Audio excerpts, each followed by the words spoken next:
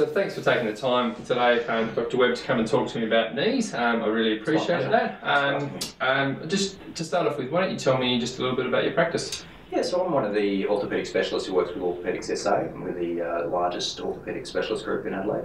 As part of my practice, I specialise in surgery of the lower limb. In particular, uh, I specialise in uh, arthroscopic surgery of the knee, sporting knee injuries, um, with a real focus on arthroscopic minimally invasive surgery um, and also computer assisted uh, joint replacement.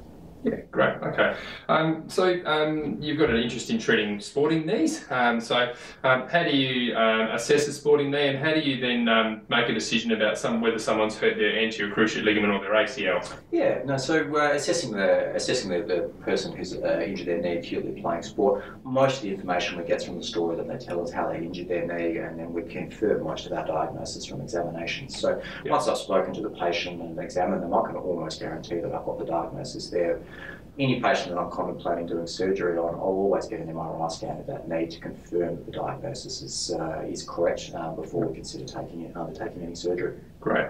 And um, when a sports person injures their ACL in their knee, um, do they require surgery? And how many of them do require surgery? Yeah, so not everyone who injures their ACL does need an ACL reconstruction. Um, and uh, with our large population now, with younger patients and older patients uh, playing sport into to a much greater age, some patients will be fine not need not need an ACL reconstruction. Yeah. That said, though, most patients uh, for Australian sport, where we play a lot of pivoting sports, Aussie rules football, netball, soccer, most of these patients will need an ACL reconstruction. The ACL is the most important stabiliser of the knee for that pivoting and change of direction motion. Yeah. And so anyone who's injured their ACL and wants to go back to playing those sorts of sports, most of those will need to go on to have an ACL reconstruction. Okay, great. Um, and um, what um, when they when they as the decision is made that they're going to have an, an ACL reconstruction,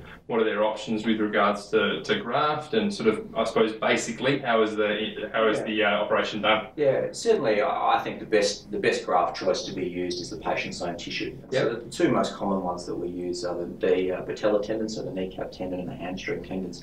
Yep. And there's a little bit of plussing and uh, minuses in terms of the advantages and disadvantages of both. For most patients, the hamstring tendon tends to be the, the graft of choice. It's got fewer of the after-operative uh, uh, problems in terms of some front of knee pain. Um, and from a graft stability point of view, they both work very well. Yep. The artificial grafts, unfortunately, haven't worked very well um, with time, so certainly using your own tissue is the best option available. Okay, great and someone goes forward and they have an ACL reconstruction with a surgeon like you, Justin, and then they've got to go through a rehabilitation period. Um, you know, um, what's that rehabilitation period typically to return to sport? How long is that, and um, what does it sort of basically involve? I'm a physio and I'm interested in that stuff. So. Absolutely. Um, most patients after their ACL reconstruction are going to require a period between nine and 12 months to, for, their uh, for their rehabilitation after their ACL reconstruction yep. Um, before they return to competitive sport the main reason that it takes that long is you have to retrain the body and connect the brain back to the muscles so that that risk of re-injuring the knee or re-injuring the other knee for that matter is as minimised as is possible. Right. Um, all of that said, um, patients are able back on the exercise bike by about six weeks after the surgery on average, starting to do some running around three or four months after surgery. So whilst it sounds like a long time before you get back, back to playing sport, you're actually being very active and doing most of those things and then there's a few of those tests that need to be required which are mostly done by you more so mm. than me in terms of determining that return to sport um, mm. uh, suitability.